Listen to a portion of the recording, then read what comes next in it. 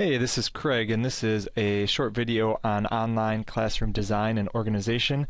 A bit of an overview, um, by no means a comprehensive look into how you can, could, or should design your online presence. So, um, so as you go about designing your website, LMS course, or blog, um, you have a lot of decisions about what types of things to put in it, how to construct it, um, how is it going to work? You kind of have to foresee your audience and your own goals and purposes. So you want to be a little more thoughtful than the three little pigs in their house of hay.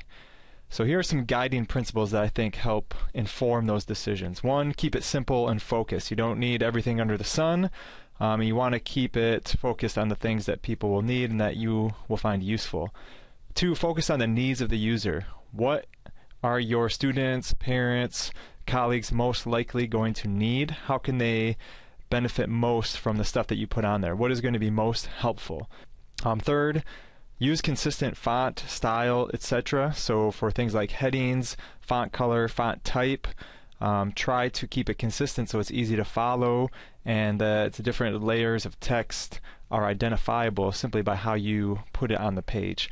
And then the last one, just try to minimize scrolling and clicks. There's a lot of cool stuff you can put on, you don't want students to scroll forever. You don't want them to have to click a lot because that can result in problems. So let's look at some examples and what this might look like um, for you. So for one, I'm going to go to my sample Weebly page, and I always recommend adding a contact page. Your contact info should be on the landing page if possible. So for example, here I have my home page, a little intro, um, welcoming people, and then a picture of myself and my contact info, email and phone. A lot of people are going to want to contact you and try and give them a couple ways to do that. And Weebly, there's a nice way for them to actually email you directly from the page. So look for that and try to set that up. Also, with pages, and navigation, try to make sure that whatever tool you're using has this omnipresent navigation bar so that no matter what page I'm on, I can always get back to that other page.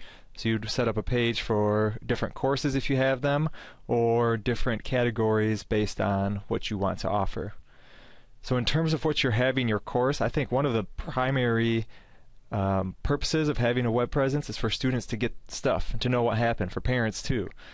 And one way I like to recommend is to just set up a simple day by day, this is what happened. And here are the links to it. So you can see my example here October 24 to 28. Monday we did this, this, this, and this.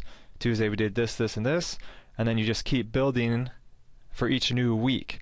That way, if I miss class or need to get download something or complete something, I can go right here to do it. Notice how I included links on here so that if I need the assignment, I can get the link right here. So that's an important thing to try to get them what they need where they need it. Links work differently in different tools.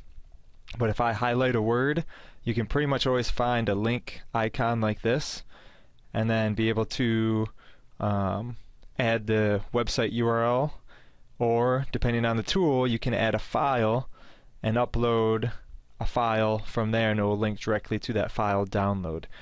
And we'll cover more about transferring your stuff in the next lesson, but I definitely recommend keeping your stuff in uh, a web-based form so that when you change something at the link, you don't have to replace the file in your course. So if you're adding a lot of Word files and PowerPoints, I suggest converting those to something like Google Docs first. That way you change it in Google Docs, you don't have to change it in your website.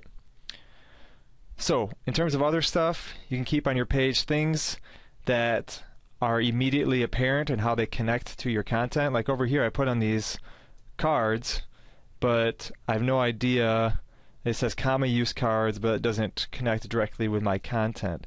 So I'm throwing stuff up here that might be cool, but it doesn't necessarily connect with the other content on the page. So try and make sure there's a flow. If you're adding a picture, what is the purpose of that picture? Make sure it makes sense with the page. Same thing with interactive stuff. If I'm adding these comma cards, I'd probably want to put a heading up here, be like, use this to practice your commas like we did on Wednesday. Try and connect that information so that the connection's there. And in terms of embedding video and stuff like that, yeah, this devil baby attack is pretty dang funny. I definitely recommend looking at it if you haven't before, but it doesn't really go along with my stuff. So, um, yeah, those are things to keep in mind. Again, this is just kind of an overview for things for you to think about. Another option, uh, I wanted to show this in Schoology because it's more of an LMS. So when you're setting up your course, one of the things I struggle with Schoology is there's no way to put your contact information at the head page, at least not that I've seen.